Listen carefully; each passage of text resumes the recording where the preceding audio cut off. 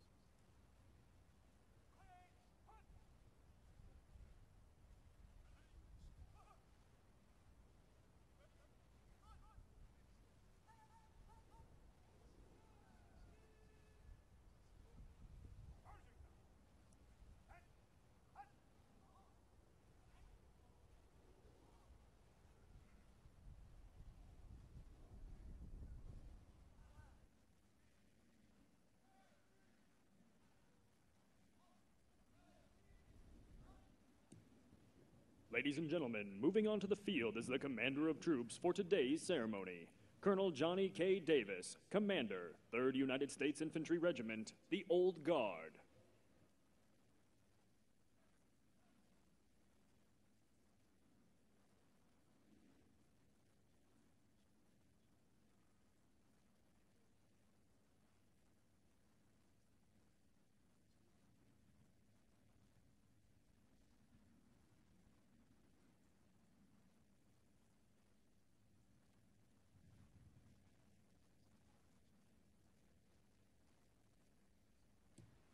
Ladies and gentlemen, at this time, we would like to welcome foreign ambassadors and chiefs of defense, leadership from the White House, Congress, government agencies, Department of Defense, and the military services, as well as many active duty and retired military personnel, government civilians, friends, and family attending today's ceremony.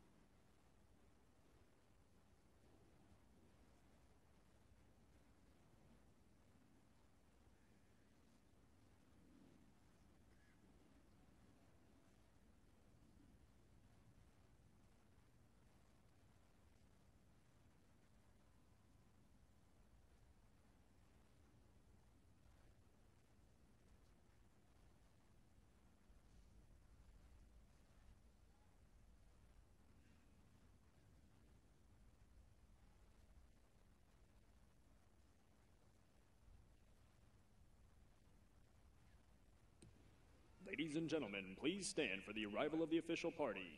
And please welcome today's reviewing official, General Martin E. Dempsey, the 18th Chairman of the Joint Chiefs of Staff, accompanied by the host for today's ceremony, the Honorable Ashton Carter, Secretary of Defense, and General Joseph F. Dunford, Jr., incoming Chairman of the Joint Chiefs of Staff.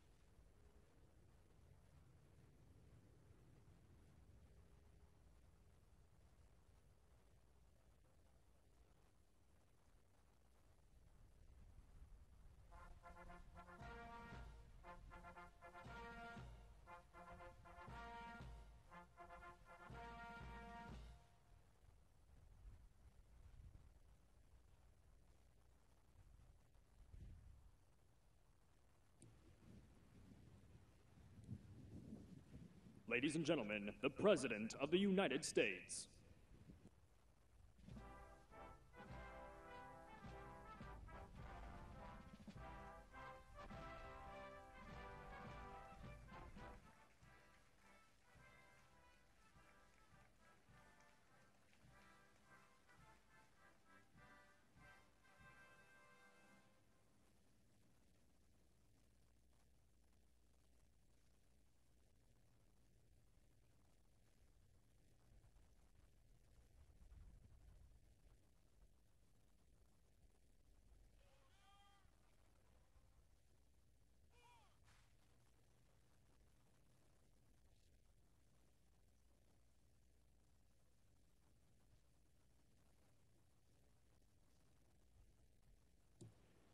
Ladies and gentlemen, please remain standing as honors are rendered to General Dempsey.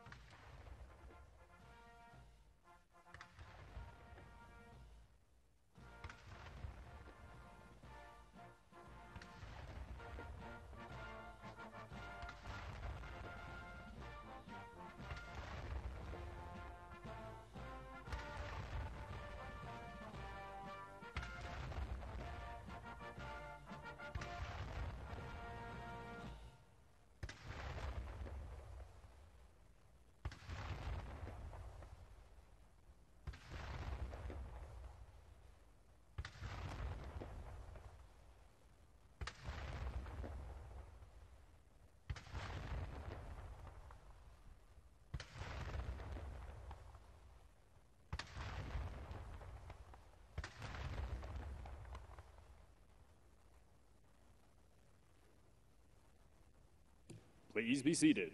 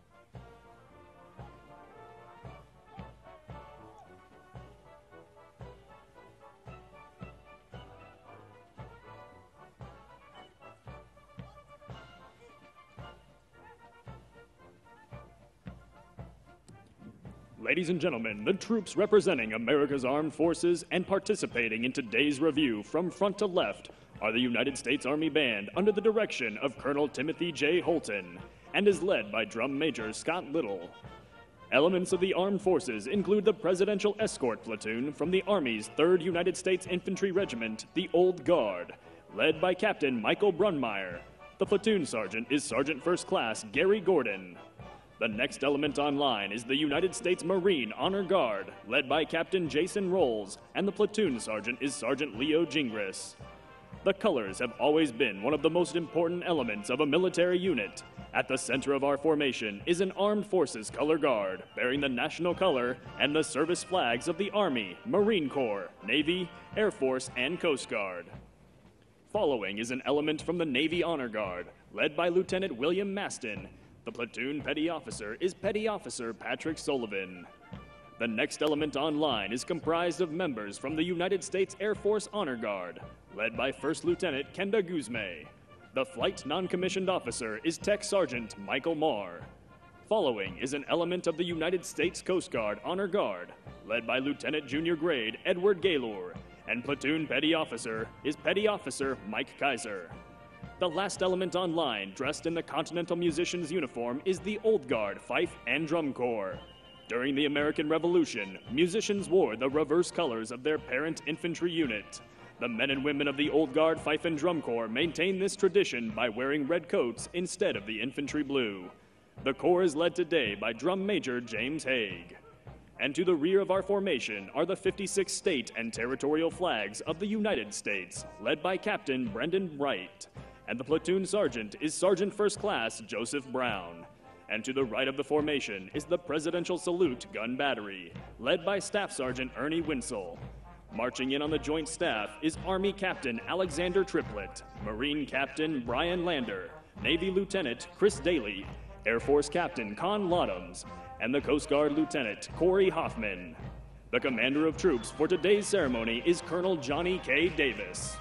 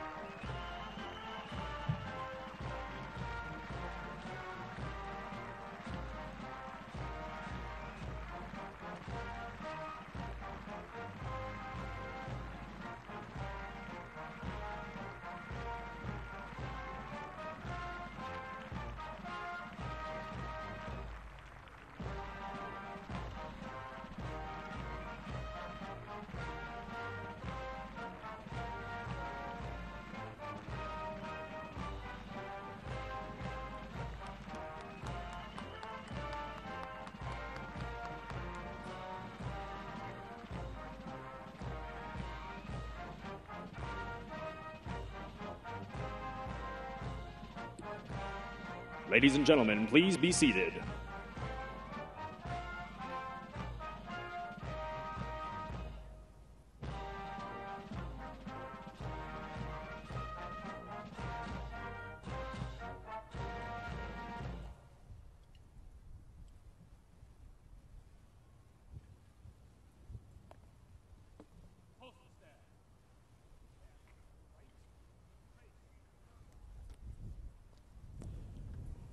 Ladies and gentlemen, please stand for the advancing of the colors and remain standing for the singing of the United States national anthem.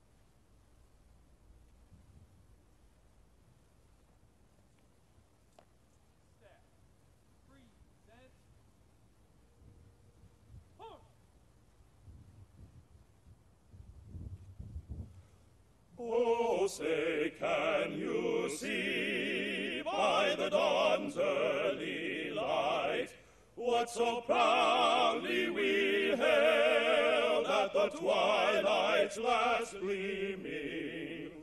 Whose broad stripes and bright stars through the perilous fight o'er the ramparts we watched were so gallantly streaming, and the rockets' red glare, the bombs bursting in air, gave proof through the night that our flag was still there. Oh, say does that star-spangled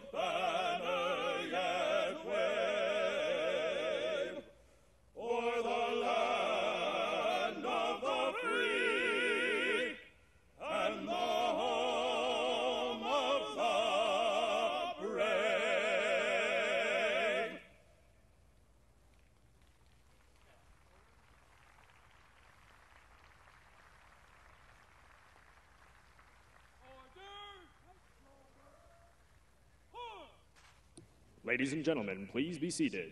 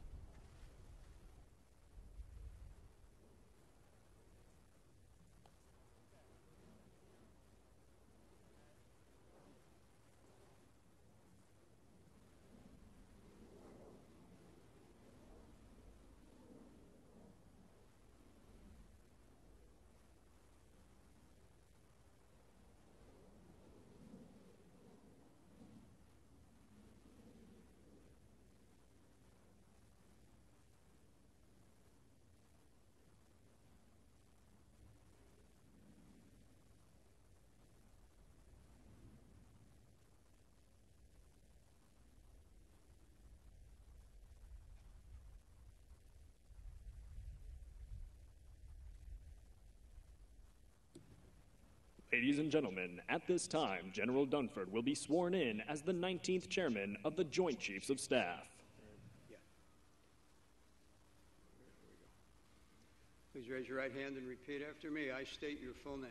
I, Joseph Francis Dunford Jr., Having been appointed the 19th Chairman of the Joint Chiefs of Staff, having been appointed the 19th Chairman of the Joint Chiefs of Staff, do solemnly swear. Do solemnly swear. That I will support and defend the Constitution of the United States. That I will support and defend the Constitution of the United States. Against all enemies, foreign and domestic, against all enemies, foreign and domestic, that I will bear true faith and allegiance to the same, that I will bear true faith and allegiance to the same, and that I take this obligation freely without any mental reservation or purpose of evasion, that I take this obligation freely without any mental reservation or purpose of evasion, and that I will well and faithfully discharge the duties that I will well and faithfully discharge the duties of the office upon which I am about to enter. of the office upon which I'm about to enter. So help me God. So help me God. Congratulations.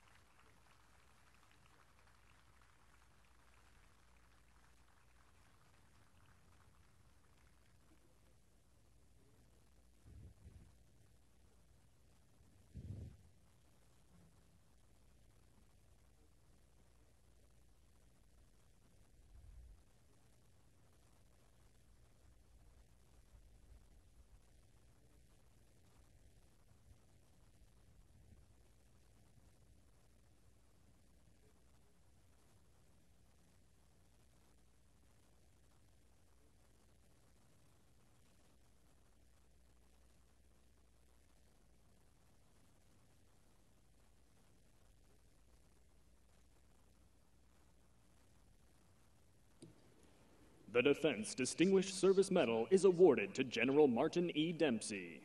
General Martin Dempsey, United States Army, distinguished himself by exceptionally distinguished service as Chairman of the Joint Chiefs of Staff from October 2011 to September 2015. Throughout this period, General Dempsey provided trusted and insightful guidance to the President, Secretary of Defense, National Security Council, and other senior governmental leaders on a vast array of complex military and national security issues. He teamed with the Joint Chiefs to build a joint force with the right capabilities, capacity, and readiness, and with combatant commanders to protect our national security interests. General Dempsey's wise counsel, unwavering integrity, and steadfast devotion to duty reflected great credit upon himself and were in keeping with the highest traditions of the United States Army and the Department of Defense. General Dempsey is also receiving the Distinguished Service Medals of the Army, Navy, Air Force, and Coast Guard.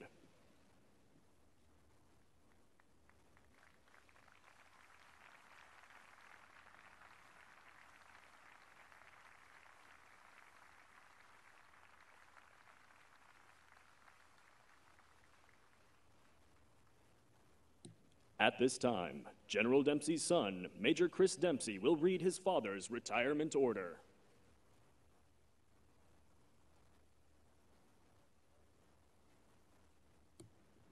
Attention to orders. Headquarters, Department of the Army, order number 110 02. The following general officer is retired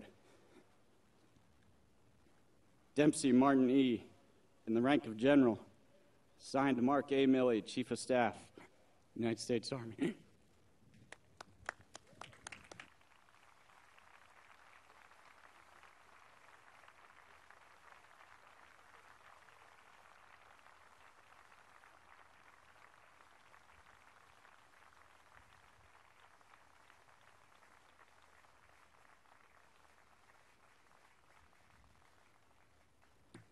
Ladies and gentlemen, please be seated. At this time, Secretary Carter is presenting the United States flag to General Dempsey for his, his, faithful service to his country. This flag was flown over the Pentagon and Arlington National Cemetery in honor of his retirement and distinguished service to the nation.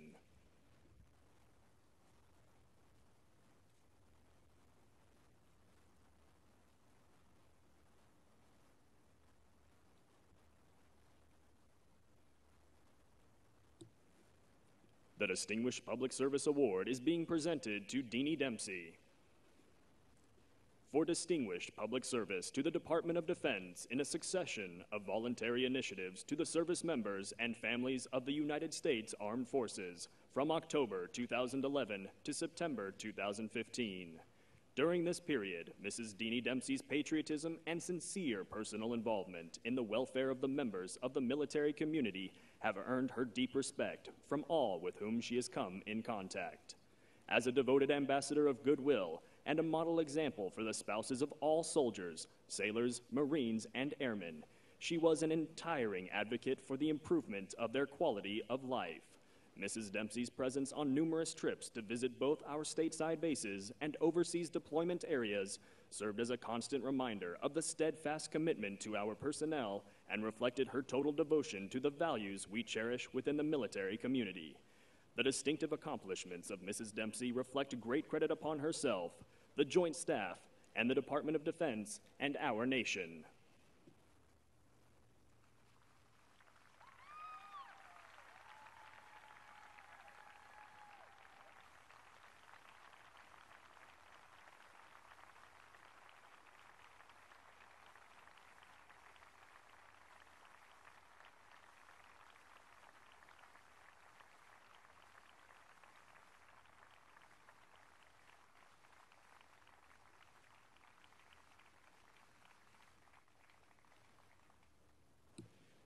Department of the Army Certificate of Appreciation is also being presented to Mrs. Deanie Dempsey. On the occasion of the retirement of your spouse from the United States Army, you have earned grateful appreciation for your unselfish, faithful, and devoted service. Your unfailing support and understanding helped make possible your spouse's lasting contribution to the nation.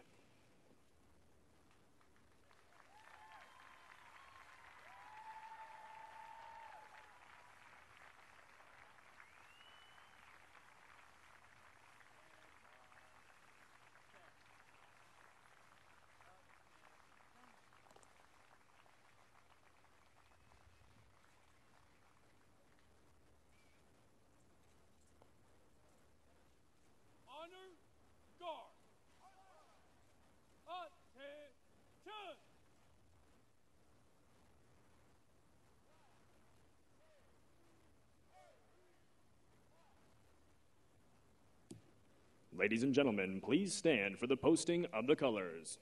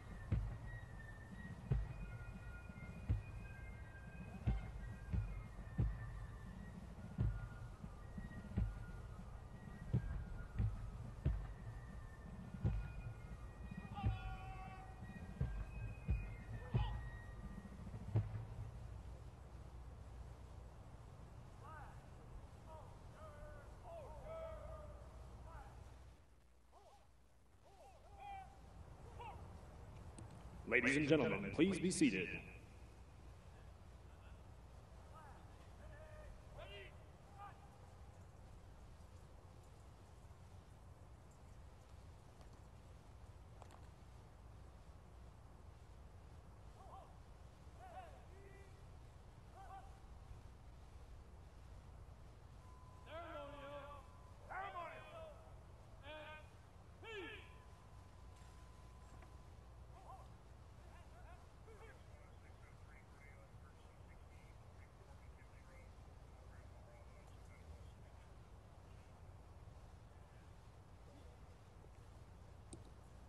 Ladies and gentlemen, Secretary Carter.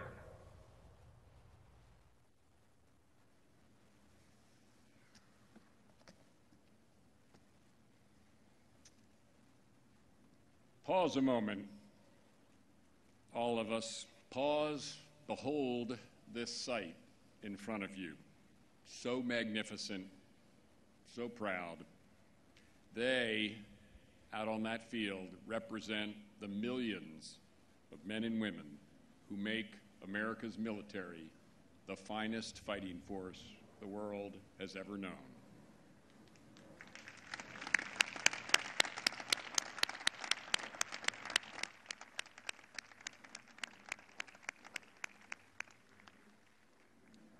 President Obama, so many distinguished guests and elected officials, your presence with us here today signifies the awesome responsibility reposed in the office of the Chairman of the Joint Chiefs of Staff, which we're about to transfer from General Marty Dempsey to General Joe Dunford.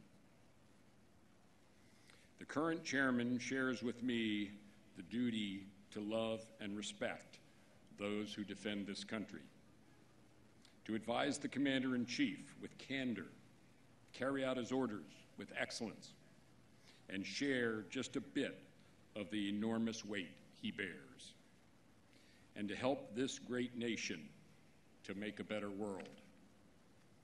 Marty Dempsey was nominated to be chairman at the same time I was nominated to be Deputy Secretary of Defense. He and Deanie and Stephanie and I sat down for dinner together and talked about what we wanted to accomplish and how we wanted to conduct ourselves. In him, I saw the dedication to hard work devotion to the force and the country, and the civility to all that I hoped to have. Marty had already shown all these traits and more for 37 long years of service. He had led the 1st Armored Division during difficult days, returned to reconstitute the Iraqi Army, and had been Chief of Staff of the Army. Three and a half years later, I became Secretary of Defense and once again turned to Marty for inspiration and brotherhood. There's so much I could say about what Marty has done to make sure tomorrow's force is as superb as today's, to drive forward in new domains like cyber and space, and to manage as well as possible through unconscionable budget turbulence. But since President Obama is present, I would like to alight for a moment upon the benefit I immediately observed Marty bringing to the President's decision making. In the Situation Room, all listened attentively when Marty offered his advice from the military leadership. As a physicist by training, I'm partial to one way Marty describes leadership. The challenge is not li- unlike Heisenberg's uncertainty principle, Marty has often said. When you touch it, you change it. Now, I'm not going to quibble with Marty's physics here, but I'm certain he's exactly right about this. Every decision a military leader makes, large or small, touches the lives of our troops. It touches the lives of countless families. It changes the nature of our world and the destiny of our country. For men and women who operate every day during a time of rapid change and uncertainty, this is the constant weight and responsibility of leadership. In those councils, Marty Dempsey speaks with the concision of the English student he once was, and invariably with a little of the sparkle of the Irishman he will always be. He's lived by the words of his favorite Irish poet, W.B. Yeats, that every trial endured and weathered in the right spirit makes a soul nobler and stronger than before. I'm confident in telling you, Marty, you will be missed. Marty has also said the best leaders make us want to be better versions of who we are. And of course, we know one remarkable woman who has done that for Marty, and that's his wife, Deanie. So when Marty heard, for example, Time magazine named him one of the world's most influential people, it caught him by surprise. He said he didn't even know he was the most influential person in his family. Marty and Deanie make a wonderful team. Over the years, no one has attended more memorials, wakes, or weddings. For the Dempseys, there are no, truly no strangers in our military family. To quote Yeats yet again, they're only friends they haven't met. So, Deanie, we thank you for finding Marty during your days at Goshen High School and for sharing with him the blessings of three children, all of whom answered the call to serve, and no fewer than nine grandchildren. An Irishman indeed. Now on to the other Irishman, Joe Dunford. Since not of all of you were able to be present yesterday at the Marine Barracks when we retired Joe Dunford from the job every Marine considers the best job in the military, Commandant of the Marine Corps, it bears repeating. But first and foremost, to Ellen. Ellen has been Joe's rock solid foundation for more than three decades. Her support for military families and wounded warriors is much more than dutiful, it's personal. The rest of Joe's family, three children, Joseph, Pat, and Kathleen, and parents, Mr. and Mrs. Dunford, have supported Joe and Ellen in providing that warm support. And I want to give Ellen a special word of appreciation. And here's why. She was just settling in joyfully to her duties as the commandant's wife and enjoying having Joe home from Afghanistan when a different calling came. Joe was the clear choice to be the President's next chairman of the Joint Chiefs, but he wasn't Ellen's. Ellen, thanks from all of us for going one more measure of devotion. Now, to why Joe is the right man for the job. Joe Dunford is the kind of officer Marines want to follow. In the early years of the Iraq War, Joe commanded the 5th Marine Regiment. Joe refused armor inserts in his flak jacket until every Marine under his command was already issued a pair. That story says more than any of us ever could about the character and leadership of this great man. Humble, strong, centered, always faithful to his people and mission, wielding the operational acuity of a battle hardened commander and the strategic wisdom of a statesman. We saw that clearly during Joe's time leading U.S. and Allied troops as the NATO ISAF commander. We saw his compassion in handwritten condolences sent to families of the fallen. We saw his tenacity in the way he managed dealing with President Karzai. And we saw his skillfulness in transitioning security responsibility to Afghan forces. During that time, all that time, and over the past 14 years, in two complex, all consuming wars in Iraq and Afghanistan, our Marines and all our service members performed spectacularly. Today, the Marine Corps is at the center of a great strategic transition in our military, emerging from 15 years of counterinsurgency and strengthened presence to preparing for a full spectrum of threats, where we remain overwhelmingly strong in posture and not only presence. In a way, that's what Marines have always done, answering the call across the full range of military operations. No one understands that better than Joe. As the 19th chairman of the Joint Chiefs, Joe answers the President's call. Joe will provide him critical counsel and serve as a critical bridge between military and civilian leadership and also between two administrations, between 14 years of war and a time of strategic transition for our force.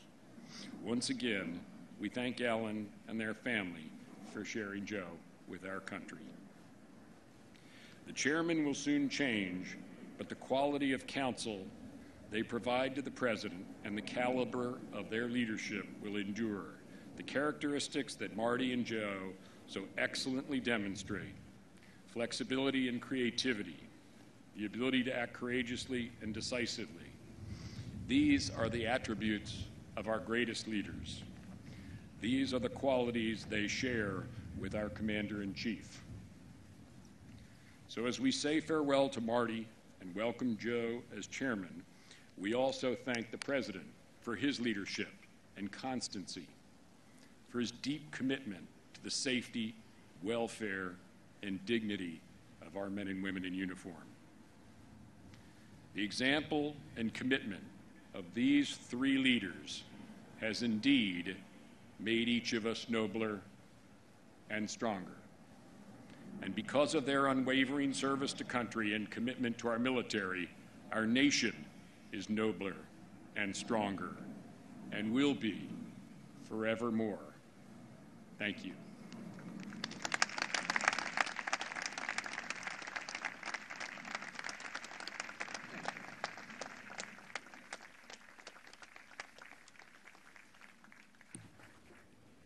Ladies and gentlemen, President Obama.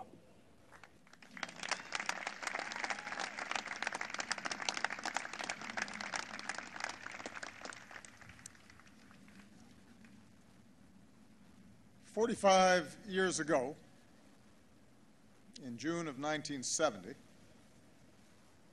telegram arrived in upstate New York at the home of 18-year-old Marty Dempsey. Congratulations, it read. You are appointed to the West Point class of 1974.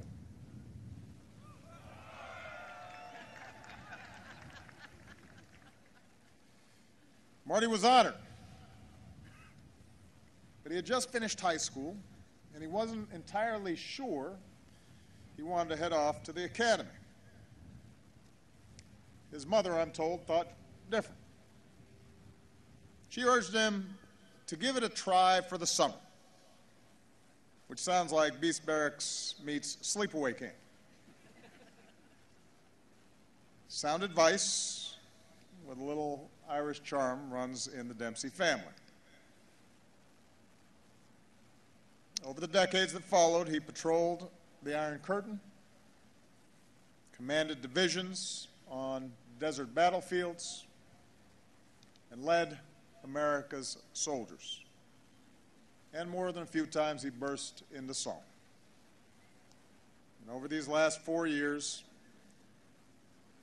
Marty's wisdom, his vision, and his character have helped lead the greatest fighting force the world has ever known.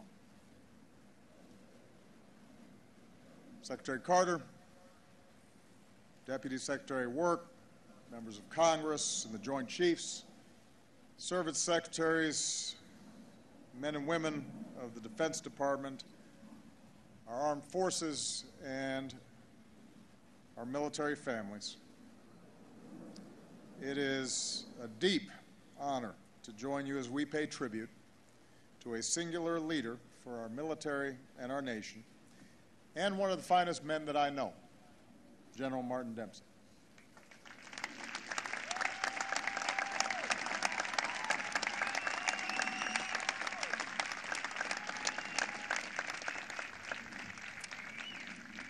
A little over four years ago, I tapped Marty to serve as Chief of Staff of the Army. We let him enjoy it for one day. Then I asked him to be chairman. So let me say, Marty, and more importantly, Deanie, this time I promise no surprises tomorrow. I chose Marty for these leadership roles because of his moral fiber and his deep commitment to American strength and American values. I chose him because of his vision for our military as a more versatile and responsive force. I chose him because he had the steady hand we needed in this moment of transition as we tackle emerging threats and support so many of our troops as they transition to civilian life. And I've watched Marty manage each of these challenges with integrity and foresight and care. But perhaps most of all, I chose Marty because he's a leader you can trust. Marty, you've always given to me straight. I can't tell you how much I have appreciated your candle, candor and your counsel. And I've seen you build that trust not just with me, but across our military, with our troops and their families, with Congress and our allies abroad, and with the American people. Today, thanks in no small measure to Marty's leadership, America has reassured allies from Europe to the Asia Pacific. We ended our combat mission in Afghanistan and brought America's longest war to a responsible end. We forged new partnerships from South Asia to the Sahel to meet terrorist threats. We built a coalition that is combating ISIL in Iraq and Syria. We have bolstered our cyber defenses. We helped halt the spread of Ebola in West Africa. None of this would have been possible without Marty's guidance and leadership. And what makes it more remarkable is that he's guided our forces through a time of reckless budget cuts. Less than a week before Congress needs to pass a budget to keep the government open. Let me just say now is not the time for games that lock in sequestration. It's not good for our military readiness, it's not good for our troops, it's not good for our family. and it's not good for our country. As Commander in Chief, I believe we should invest in America and in our national security and not shortchange it. And yet, even in these tough fiscal times, Marty has made sure we maintain our military superiority. And no one can match our services because no one can match our service members. Our sons and daughters, who he's cared for like his own. In them, he sees the West Point classmates of his youth. He sees those he commanded. He sees their families, and in them, he sees his own. There's Deanie, of course, Marty's high school sweetheart, lifelong better half, whose grace and resilience and good cheer embodies the military spouses she fights so fiercely for. Chris, Megan, and Caitlin, who followed in their father's footsteps to wear our nation's cloth. Marty's mother, Sarah, who we thank for making him give the military a try for the summer. And there are his nine grandchildren, who we can be confident will mark this nation in so many positive ways in the future. On behalf of the American people, I want to thank the entire Dempsey family for their service to our nation.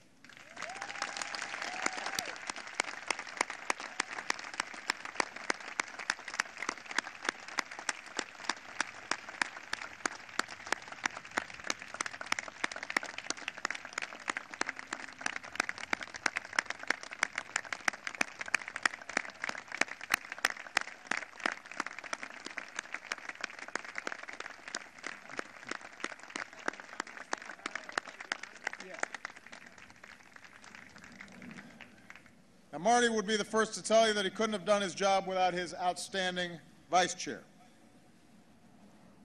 And I, too, have depended on the advice and experience of Admiral Sandy Winnefeld. Thank you, Sandy, for your outstanding service.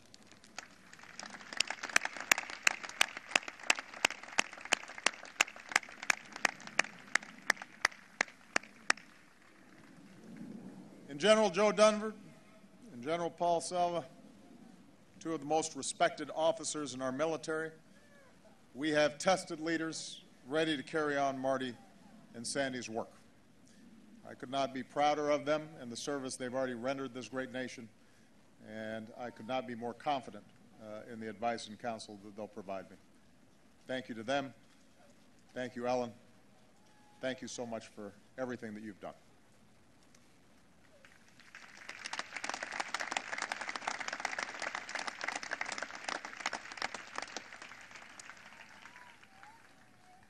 We're going to have a lot of work to do long after not just Marty's gone, but I'm gone from the stage. There are always new threats, there are always new challenges in this ever changing world. We have to degrade and ultimately destroy ISIL, the remnants of Al Qaeda, terror networks around the world. We have to adapt our defenses for the 21st century. We have to give our troops the support they need to meet their missions. We have to make sure that our forces and our families receive the pay and the benefits and the quality of life that they have earned. That is how we maintain a military that is second to none. But I'm confident that we are up to the task. I'm told that on Marty's desk there's a box. Uh, it's a cigar box with 132 cards each one with the name, picture, and story of every one of the 132 soldiers who gave their lives under his command in Iraq. And on top of the box are three words Make it matter. Make it matter. And every morning, Marty places three of those cards in his pocket. So that every moment as chairman, every meeting, every trip, every decision, every troop review, every moment of every day. Some of those fallen heroes are with him. Those cards were with him a few years back when, for the first time as chairman, Marty spoke to a group of military children who had lost a parent.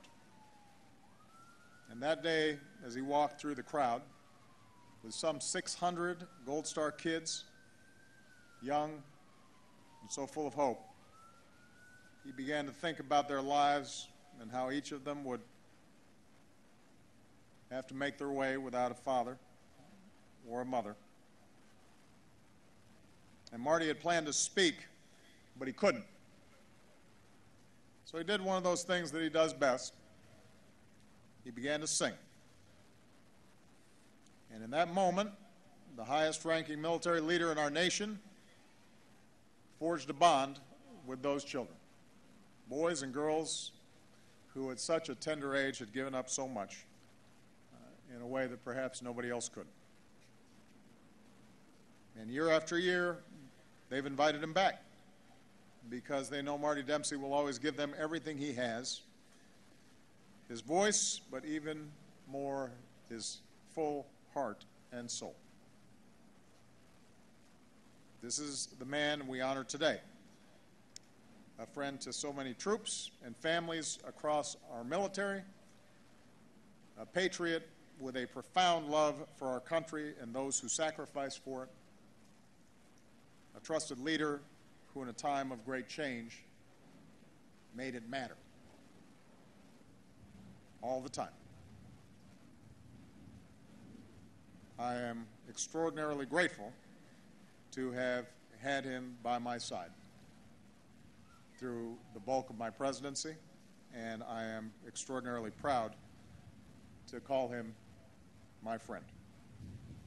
Marty, for your lifetime of extraordinary service, you have the deepest thanks of a grateful nation. God bless you, and God bless our men and women in uniform.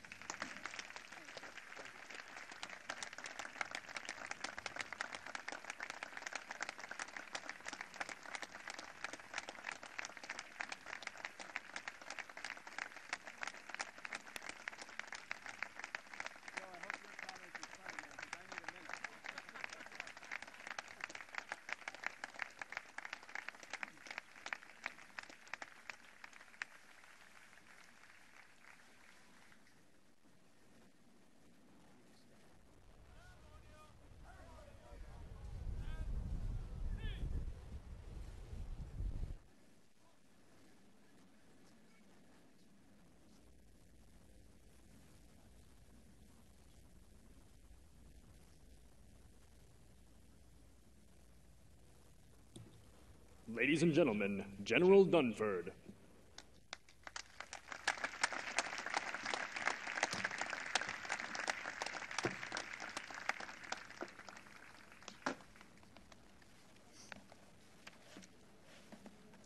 Good afternoon, distinguished guests, family, and friends. Once again, thank you for joining us today. Mr. President, Secretary Carter, thank you for those kind words, but more importantly, thank you for your leadership and for your trust in me and selecting me as your principal military advisor. Before I begin, I'd like to once again draw your attention to the men and women in formation today. They not only look superb, but as Secretary Carter said, they represent more than 2 million members of our total joint force. Many of our soldiers, sailors, airmen, and Marines are forward deployed. Some are in harm's way. And as we enjoy today's ceremony, I'd ask you to keep them and their families in your thoughts and prayers as well. In addition to the many special guests and senior officials who were mentioned by name as the ceremony began, I'd like to thank our family and friends for making the effort to join us. I'm particularly appreciative that my brothers and their families are here, along with Ellen's sister, her brothers, and their families. I'd also like to single out my mom and dad who are here. I became a Marine because of my dad, and any success that I've had in uniform was a result of my mother's discipline and exacting standards. So, mom and dad, thank you.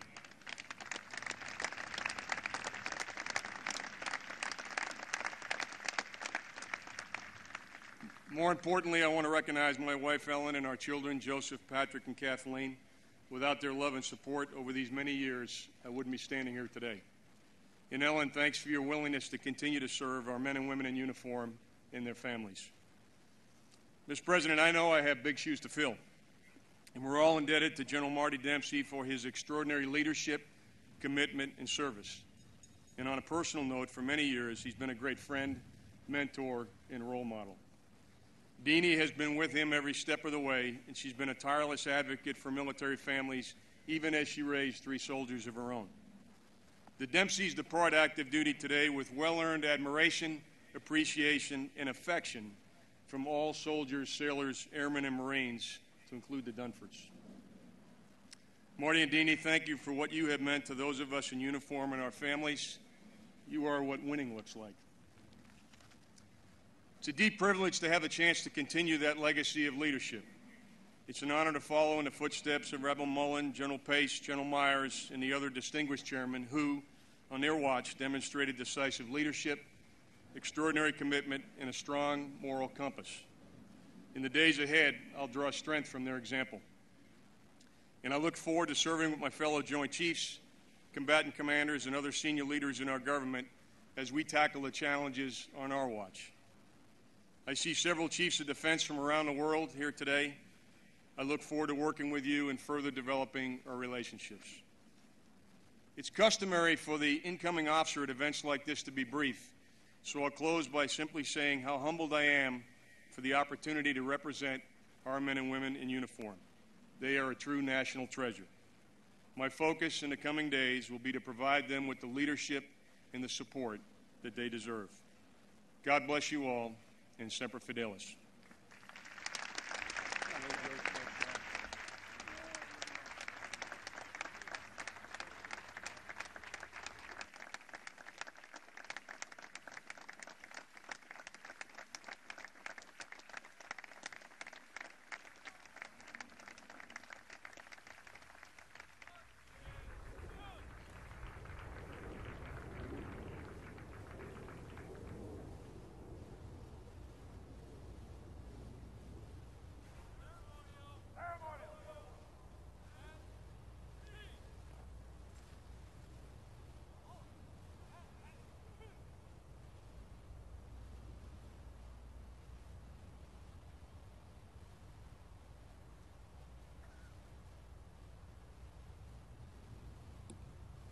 Ladies and gentlemen, by special request, Lizzie Yagi, representing the Tragedy Assistance Program for Survivors, or TAPS, will introduce General Dempsey.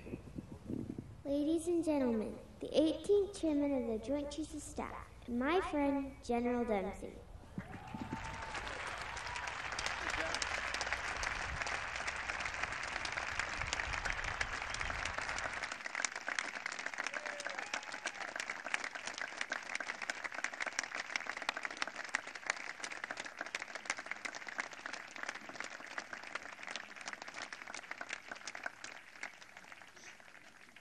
Oh, thanks, Lizzie. Being your friend and the lead vocalist of the Taps Kids will always be among my most cherished memories as time in my time as chairman. And by the way, for everybody here today, sir, I want you to I want everybody to know that that's the first time the president ever made me cry. So unless you think we've had this kind of back and forth over over the course of time, that's that's a first. And whoever had the over and under on how long it would take me to cry, it was when my son introduced or read my retirement order. So there you go. My, I think my classmates have probably had a few side bets going. Let me begin by thanking everyone for the kind words and the recognition. To tell you the truth, it rubs a bit uncomfortably against my conviction that duty is its own reward and that those called to serve should seek no recognition for simply doing their duty. We all owe this great country our very best, and our fellow citizens our very best. It was humbling to accept this job four years ago, and it's humbling to relinquish it today. Mr. President, thanks for being here and for allowing me to advise you. I've been honored to work with you and your national security team. I know this is a very busy and a very important week for you, but then again, they're all very busy and important weeks for the President of the United States. I also want to thank you in particular for allowing me to release my inner leprechaun from time to time during National Security Council meetings, and importantly, for allowing two Dempseys into the Situation Room at the same time. I should have included this in my chairman's risk assessment. By the way, I hope you were able to get that good word in for me with the Pope. I also want to thank the 22nd, the 23rd, the 24th, and the 25th Secretaries of Defense with whom I've served over the last five years. Seriously? they, I really do appreciate them for their service to the nation, for their support to men and women in uniform and their families, and for teaming with the Joint Chiefs to protect this nation. You are all great patriots and prodigious leaders. There is no way I can explain what the past 41 years have meant to me in the next few minutes, and the next four years will be ably led by the 19th chairman. So I'll focus on the moment, right here, right now, surrounded by so many family and friends. Let me start by thanking the Old Guard, the Joint Honor Guard, and the great military bands assembled here. I have been and will continue to be your biggest fan and your strongest advocate. You remind us of our history and you set the cadence of our march into the future. You are outstanding soldiers, sailors, airmen, Marines, and Coast Guardsmen serving right here in our nation's capital. You inspire us. Thank you for providing the images and the sounds that will ensure we will always remember this day. And ladies and gentlemen, please join me in thanking them.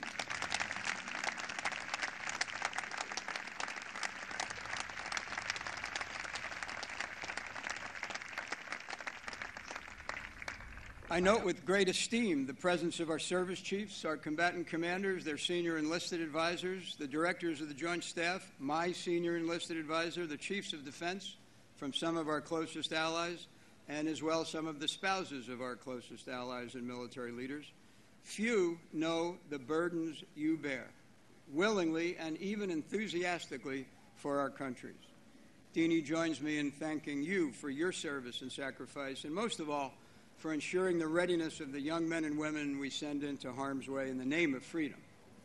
I'm honored by the presence of civilian leaders from across our government. In particular, I thank my teammates from the Department of Defense, the service secretaries, and the National Security Council staff.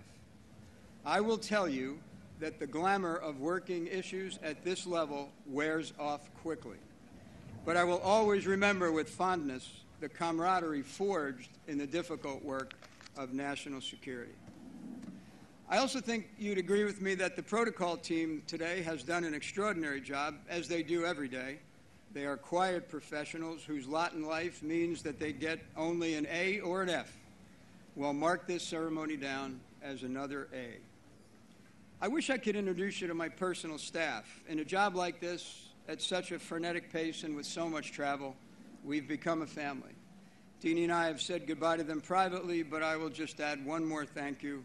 You made me a better chairman and left an indelible mark on our hearts in the process. In the audience today are friends from elementary school and high school, the great West Point class of 1974, Pride of the Corps. From the National War College and even from my capstone class. Apparently, I made the right decision when I decided not to study too hard so I could make a lot of friends. I have both mentors and proteges here. As I've become older, I realize that the distinction between them blurs. We've learned from each other. I'll tell you this Deanie and I came into the military for each other, but we stayed in the military because of you. I admire you all. There are friends here from the storied Fighting 69th New York Army National Guard and from USA Basketball stars from the worlds of entertainment and professional sports who have traveled with us around the world, and superstars from the many private organizations dedicated to support our military, their families, the wounded, and our veterans. You've all touched our hearts, filled our souls, inspired us, and made it an extraordinary four years. We are privileged to call you friends. Another Yeats quote Think where man's glory most begins and ends and say, My glory was I had such friends. I know in my heart that Martin Joseph Dempsey, Thomas Joseph Sullivan, and Bridget Devaney Barber are all proudly looking down on us today. And they are probably up there whispering far too loudly, For God's sake, I just hope he doesn't start singing. My mom is sitting right over there, thinking to herself, I told you so. If there's a more soft spoken, respectful, humble woman on the face of the earth, I'd like to meet her. Thanks for inspiring us to be humble, to always give just a little more than an honest day's work, to have courage, and to live a life of faith. We love you, Mom.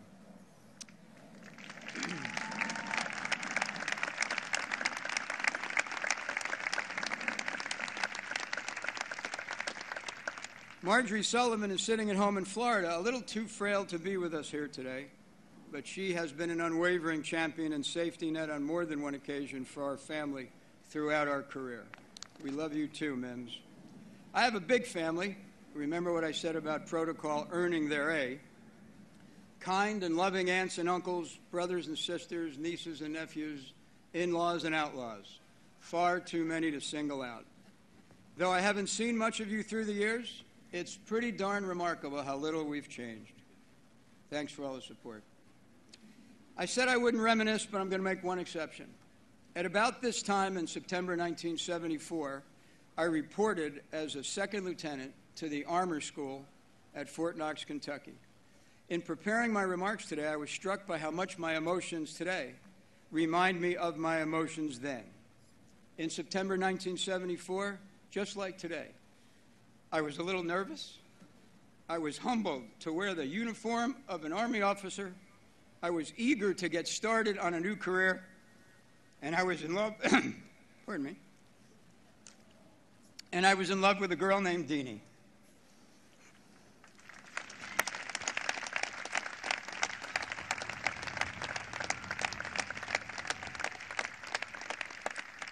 I fell in love with Deanie when she was 15. It took her a few years to come around to the idea. But I was sure that whatever life brought my way, I wanted to experience it with her.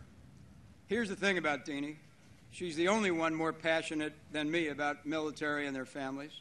She's a better leader than I am. She has far more energy than Einstein predicted could be packed into a five foot two inch body.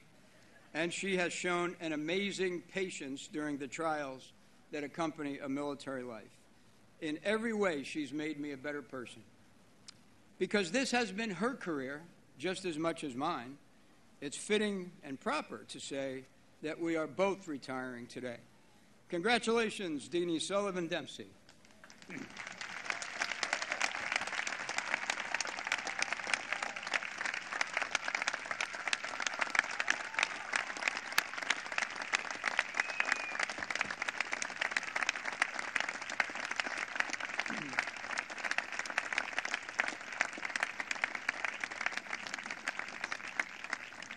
So I'm almost out of water to choke back the emotion, which means I must be near the end.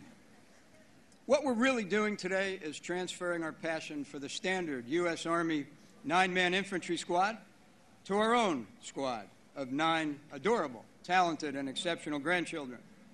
They are, in order of seniority, Kayla, McKenna, Luke, Alexander, Hunter, Finley, Braden, Samuel, and David. Now, if you want to know what our principal goal in retirement will be, it's to be the best grandparents we can be. Now, lest they think we've forgotten them in the flush of affection for our grandchildren, I should note that we love our own children and their spouses. they have served our country too. Deanie and I have made 20 moves, most of them with the kids, and they have been courageous, adaptive, resilient, and willing to share their parents with a larger military family. It's been a joy watching them grow up although until recently we did have some difficulty convincing them that the Mayflower wasn't a moving van. I'm very happy that the J3 allowed my son Chris to escape the National Military Command Center to attend the ceremony. And as I said, Megan and Katie have also served, as did Shane, who, along with Julie and Corey, formed the best trio of in laws we could ever imagine. I know a little something about leadership, and you have it all as well as many other extraordinary qualities that make you great couples, great parents, and great patriots. We very much enjoy your company. We look forward to seeing more of you, and we hope the feeling is mutual. Who stands for freedom goes with joyful tread. Joyce Kilmer. It has been my honor to walk with joyful tread alongside soldiers, sailors, airmen, Marines, and Coast Guardsmen as chairman for the past four years. They are truly the best in the world at what they do. They are our nation's most precious treasure. They and their families inspire us. Today, we entrust them to our new chairman. You may know that the Irish are somewhat stingy with compliments and generally reserved in the use of adjectives. When Irishmen truly respect someone, they say simply, You're a good man. Well, you're a good man, Joe Dunford. As I depart, I do so with great confidence that you and Ellen are in the right place at the right time and at the right time for our nation. Thanks to you both for taking on yet another challenging task for our nation. Speaking of challenging tasks, there is a sense today that America's future is fraught with uncertainty and, and that the fabric that binds us is being mightily tested. However, I leave with tremendous optimism and absolute confidence in who we are and what we stand for. Our nation and its armed forces remain the world's foremost symbols of strength, of hope, and of freedom. The generation that is now blessed to serve will do its duty and will ensure that our nation remains strong. I thank God for sustaining me for these 41 years, and I pray that He keeps us all strong. It has been my privilege to wear the cloth of our nation. To all who will continue to serve after me, I ask only this in parting make it matter.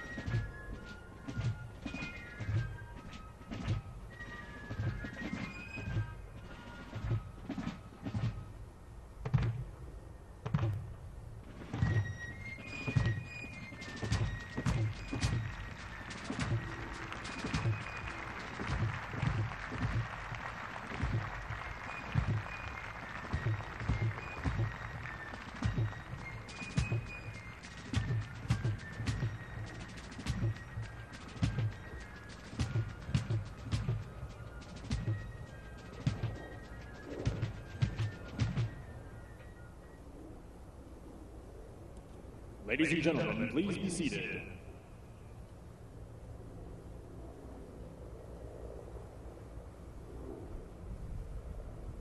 At this time, we ask that you please remain seated while the President departs.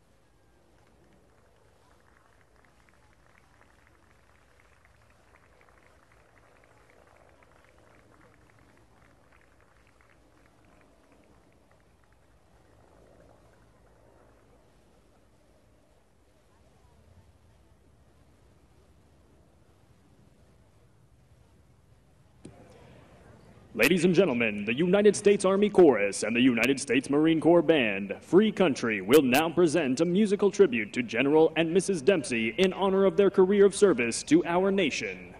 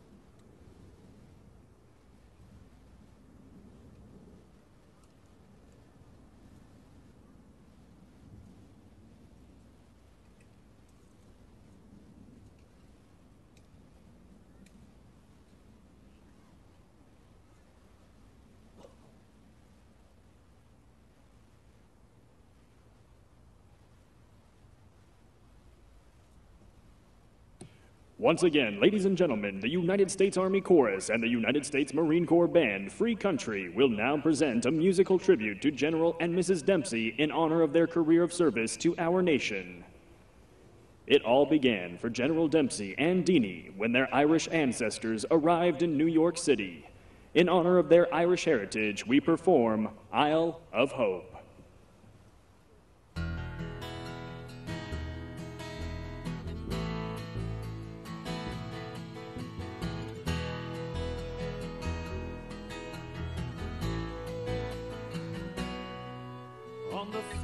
First day of January 1892, they opened Ellis Island and they let the people through.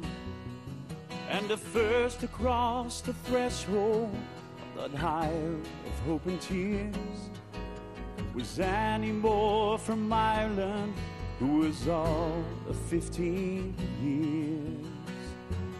Isle of hope, Isle of tears, Isle of freedom, Isle of fears. But it's not the isle you've left behind. Isle of hunger, Isle of pain, Isle you'll never see again. But the Isle of hope is always on your mind.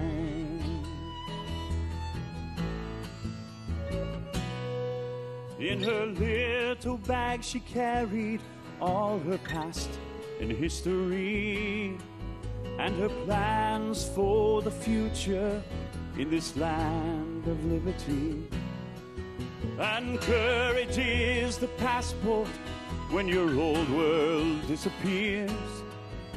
But there's no courage in the past when you're 15 years.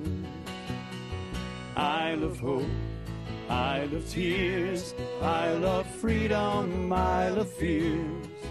But it's not the isle you've left behind.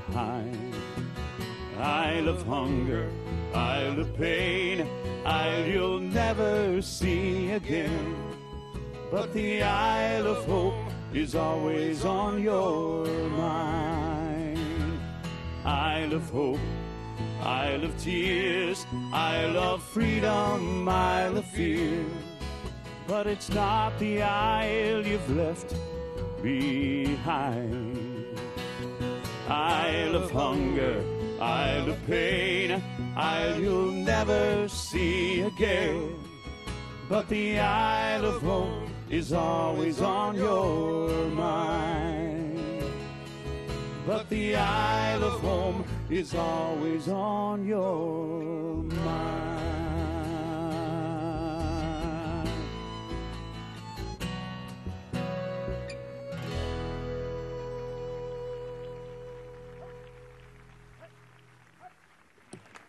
More than 41 years ago, General Dempsey graduated from West Point. He is, and always will be, an American soldier.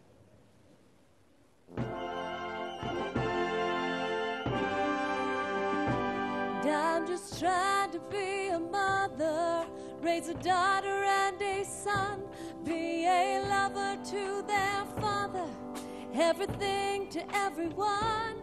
Up and at 'em bright and early, I'm all business in my suit. Hey, I'm dressed up for success, from my head down to my boots.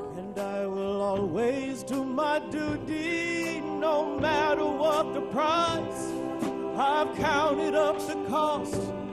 I know the sacrifice. Oh, and I don't want to die for you. But if dying's asked of me, well, I'll bear that cross with honor. Cause freedom don't come free. I'm an American soldier,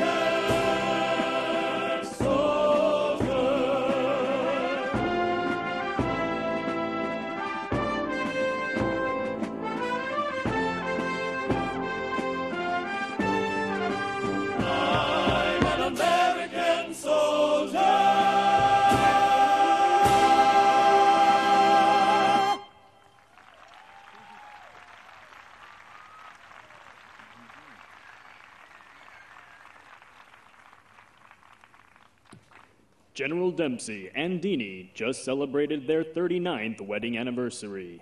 In their honor, we perform their wedding song, Close to You.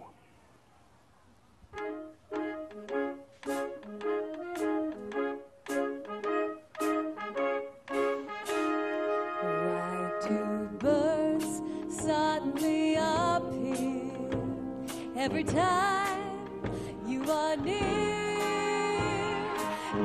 like me, they long to be close to you.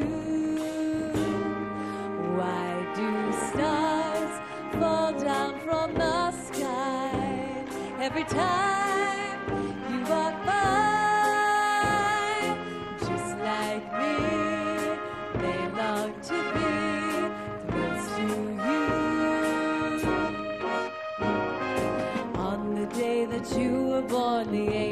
got together and decided to create a dream come true.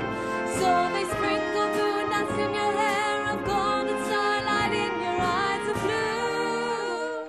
blue. That is why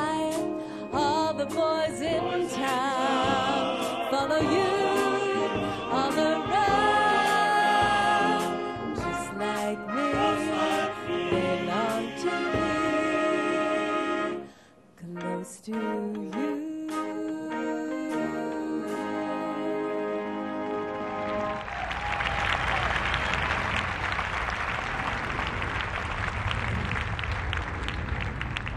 It has been a journey of four decades for the General and Deanie.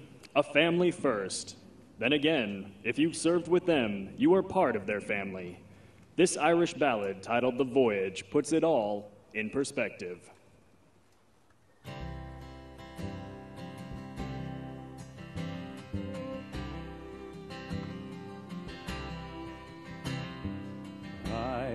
Sailor, you're my first mate. We signed on together, we coupled our fate. We hauled up the anchor, determined not to fail. For the heart's treasure, together we set sail. No map to guide us, we steered our own course. We rode out the storms when the winds were gale force. We sat out the doldrums in patience and hope.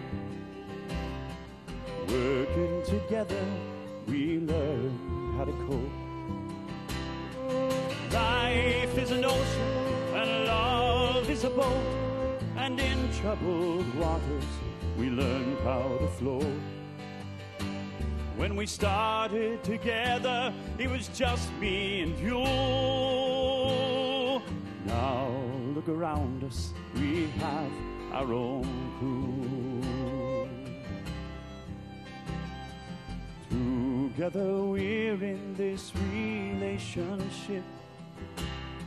We build it with care to last the whole trip. A true destination not marked on any charts. We're navigating for the shores of the heart. Life is an ocean and love is a boat, and in troubled waters we learned how to float. When we started the voyage, there was just me and you.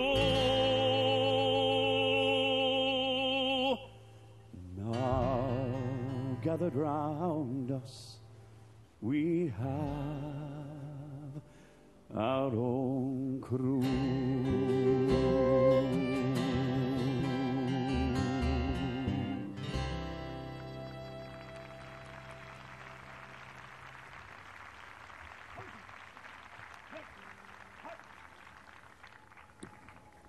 It just wouldn't be a musical tribute to the blue eyed 18th chairman without his favorite song.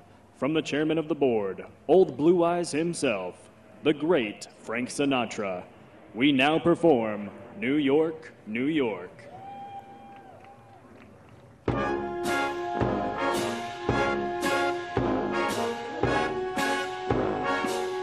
Start spreading the news. I am leaving today. I want to be a part of it. New York, New York. These vagabond shoes, they are longing to stray right through the very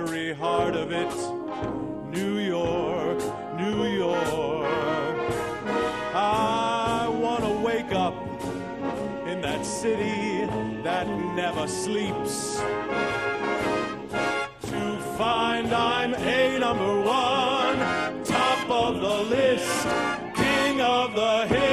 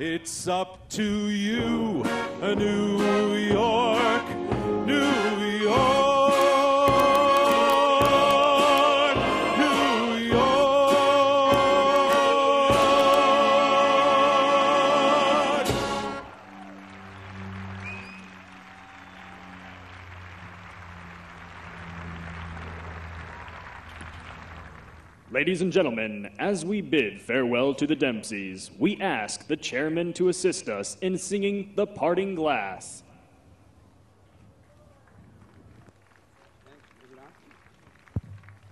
You know, anybody can sing that song with all those people standing behind you.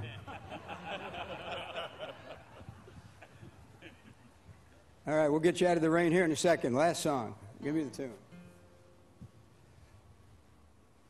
Of all the money that e'er I had, I spent it in good company, and all the harm that e'er I've done, alas, it was to none but me.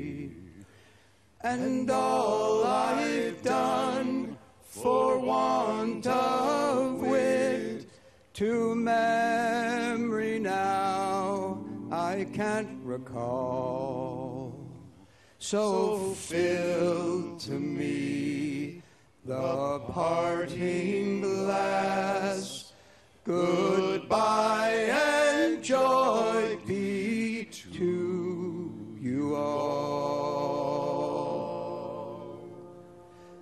So fill to me a parting glass and drink a health, whatever befalls, and gently rise and softly call. Goodbye and joy be to you all. For all the comrades that e'er I've had, they're sorry for my going away, and all the memories that e'er I've had, they'd wish me one more day to stay. But since it fell unto my lot that I should rise and you should not, I'll gently rise and softly call goodbye and joy be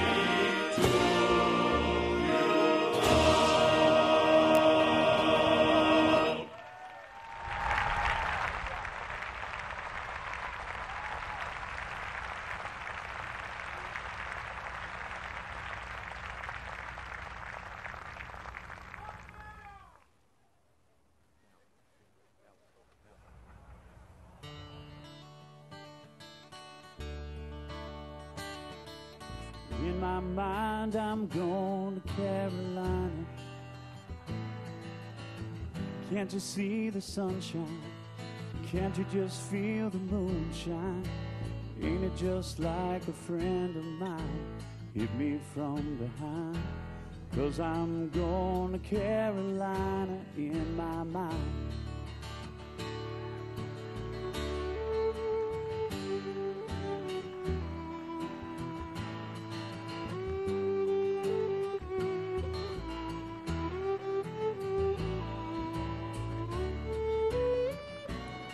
Ladies and gentlemen, please remain in place for the departure of the official party.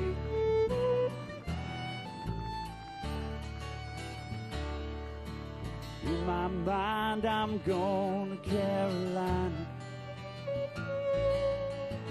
Can't you see the sunshine? Can't you just feel the moonshine? Ain't it just like a friend of mine me from behind? Cause I'm going to Carolina in my mind. Yes, I'm going to Carolina in my mind.